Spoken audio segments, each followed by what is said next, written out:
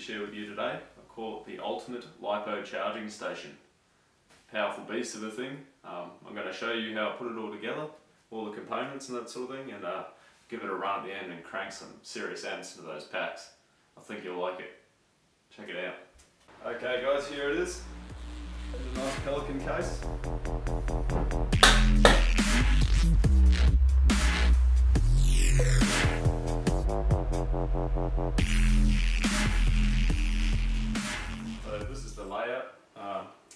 Can see it's inside a real nice sturdy bulletproof Pelican case. Uh, the reason I put it in that so I can chuck it in the back of the ute and uh, not be too concerned with all the lipos and uh, other delicate pieces inside when I uh, go out to the field. So I'll just uh, run through each individual component that I used to make it up and you can have a look at all the internal workings.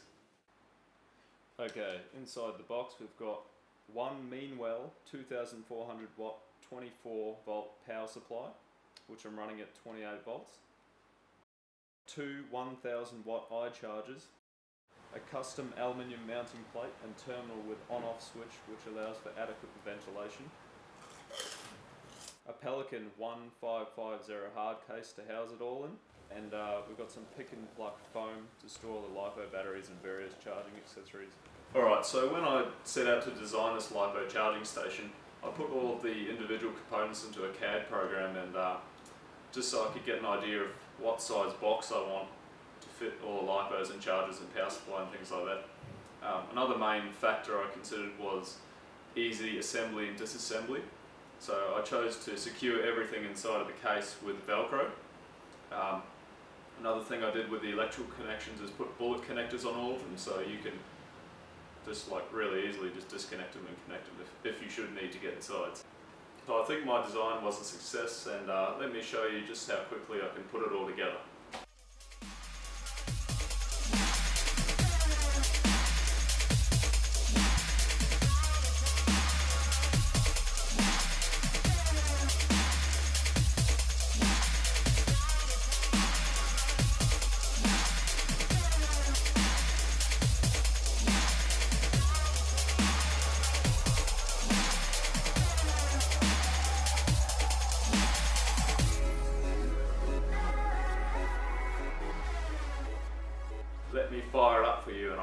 To the max. Oh yeah. Power. Two Thunder Power 6 cell 5000 milliamp packs here. I'll just uh, check and see how much is left inside. Okay, we've got 28% remaining in this pack.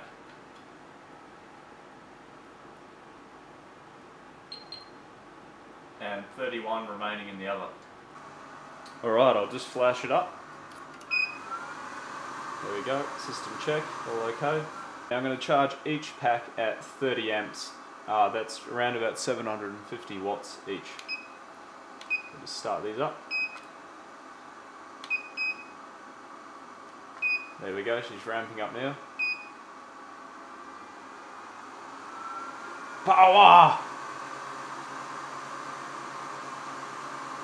I love it. Alright, so up to 30 amps each now. Now I've utilised the external temperature sensor from each charger, so the top charger here and the bottom charger, and uh, one goes into the intake of the power supply fans and one is at the exhaust. Uh, I'll just bring up on the chargers here the temperature readouts.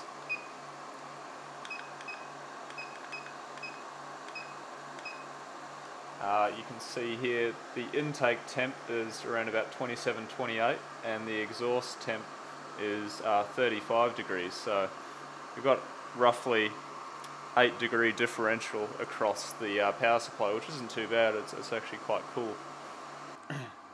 right, that beeping noise means the charges have just finished. Uh, this battery took 11 minutes and 18 seconds to charge and it put in 3409 milliamps. This battery here went much quicker at uh, 9 minutes and 13 seconds and it put in 2872 milliamps, which is uh, pretty impressive. Under sort of around the 10 minute mark for charging 5000 milliamp 6S lipos is uh, brilliant. Alright guys, that's it. I hope you enjoyed this video. Um, if you'd like a similar setup, ARKRC do have all of these components available for purchase, so uh, just contact them on their website or you can uh, leave me a message below and I'll uh, help you out. Alright guys, take it easy. Cheers.